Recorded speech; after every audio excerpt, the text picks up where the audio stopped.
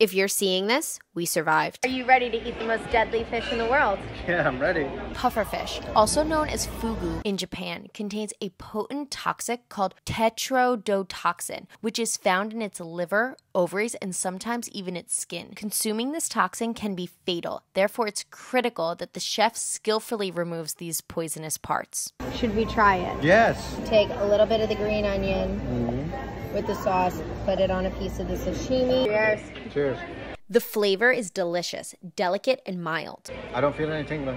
You won't feel it right away. If after consuming you do feel any tingling in your lips or in your mouth, anywhere between 30 minutes to three hours, please seek medical attention immediately because you have been warned. Over 100 people die a year from this deadly delicacy. And it's also the question, is the chili making my mouth a little tingly or is it the poison? It's the poison.